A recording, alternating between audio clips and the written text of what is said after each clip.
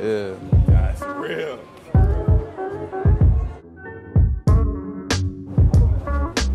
She's like, oh my god, a fucking rap video? This is like one of my favorite spots to come to and eat. Um, I'm really tight with the owner. I mean, the whole All-Amerikkkan Bada$$ thing is more just being clever. the music is a reflection of however I'm feeling at the moment. My feelings was more in the space of what was going on in the country. Joey Bada$$, it's really just the name. It's more just about, you know, being bold and not not holding back. I'm always going to speak on what I think needs to speak on. I'm always going to fight for what I think needs to be fought for. That's where the badass comes from. It, it's less about breaking windows. When it comes to my style, I make sure there's not a dull moment. I'm not a guy who shops for brands. Like I'm not just going to Gucci because it's Gucci. Right. If I buy something from Gucci, like the belt I have on, it's because I just really like the design. Yeah. It could be fucking $800 or it could be $8 from the thrift store. I was watching a Muhammad Ali interview one time, right?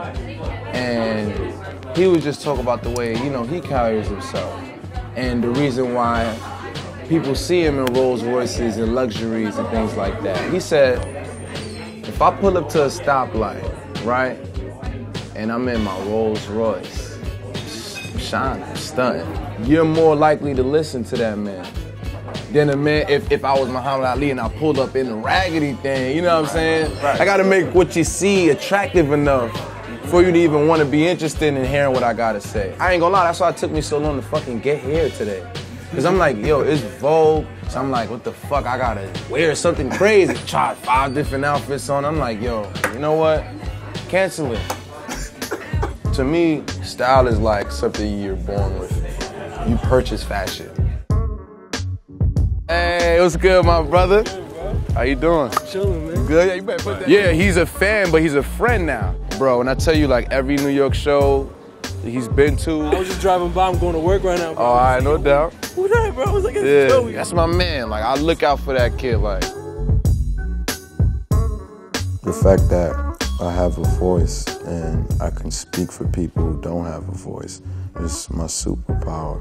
Always wanted to deliver something positive that maybe the listener can gain something from it. You know, benefit the listener or learn or motivate or inspire. I get inspired by a lot of negative things and I almost want to flip it. I want to reverse the energy. We are in a collective conscious. I have a very holistic type of way of thinking. No, I'm a very spiritual person. Crystals are like my philosopher's stones. They release electromagnetic frequencies and vibrations that help lift your frequencies and vibrations. There used to be a point where I, I wouldn't leave my house without leave, wearing a crystal. There's an amethyst, real tiny amethyst on my pinky ring. I've become the crystal. I always view things from outside of my body. Like, you know, I just I like to keep it real with myself. Like, yo, if I wasn't me, would I fuck with this? that's like that's how I judge my music. I don't think I've ever felt comfortable in life, and I feel like the fulfillment of my dreams makes me feel comfortable because the main reason why I don't feel comfortable because I'm so anxious to get what I what I wish to get done done. That makes me restless.